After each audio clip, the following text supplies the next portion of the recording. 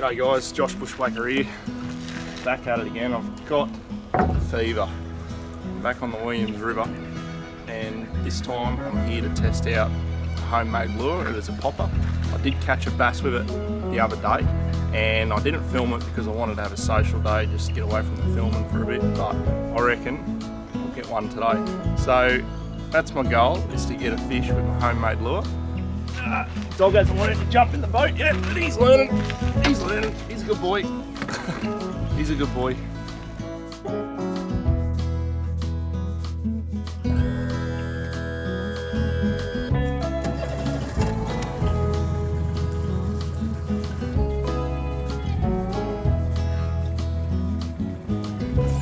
When I uh, dock my boat, I always like to put the bowline around the cleat on the wharf and I can make the adjustments on the cleat on the boat.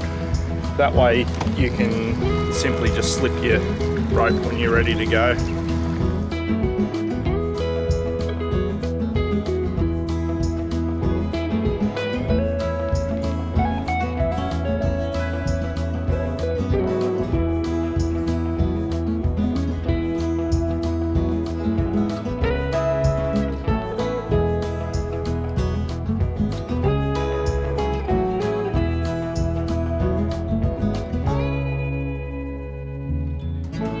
Okay, so I'm just at the spot where I hooked onto the big fish the other day and dropped him. And I went back here the other day and had a couple of casts from a popper and had a few hits, but nothing, nothing took it.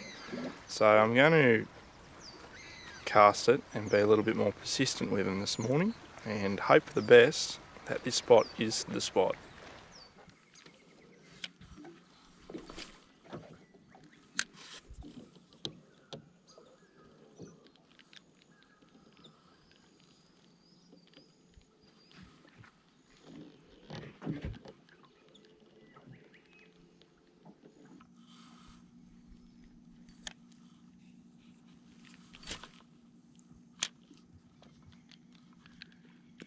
Oh, see that? Did you see that? See that was a big slap. There's one hanging about.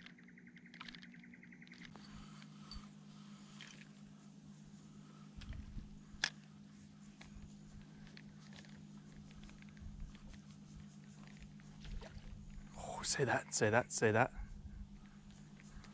Something went for it. Something wanted it. Oh, oh, there he goes again. Oh, there, see? Oh, he's on, he's on, he's on. I made lures, have a go at that. I made lures, hey? Oh, did he take me under the branch? Yeah, look at that, mate. Look at that. Look at that. Look at that. Look at that. Look at that, got him big time. Big time. Come here, Mr. Bass. Got him big time. Great success. It feels so good to catch fish on your own handcrafted lures. And uh, casted this one just near a branch and I watched him follow about three times. He, he bit at it and then, yeah, he took it. He took it and I got him in the boat, so I'm really happy about that. That's the second fish I caught with this um, timber lure now, so I guess I'm gonna have to start making some more. Taking orders now, guys.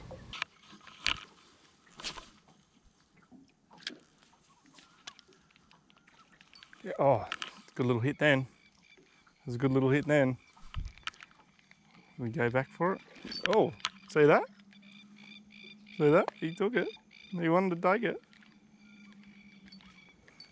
Of the strike zone now. Bit of wet. Bit nasty weed there.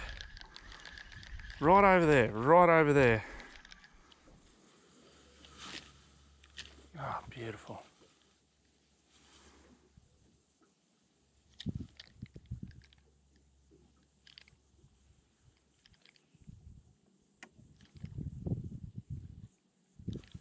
Yep, yep, yep, yep. Got him, got him, got him. It's good because I was starting to get over this top water fishing. Come on, buddy. Got a fish, Jed? Got a fish on, buddy?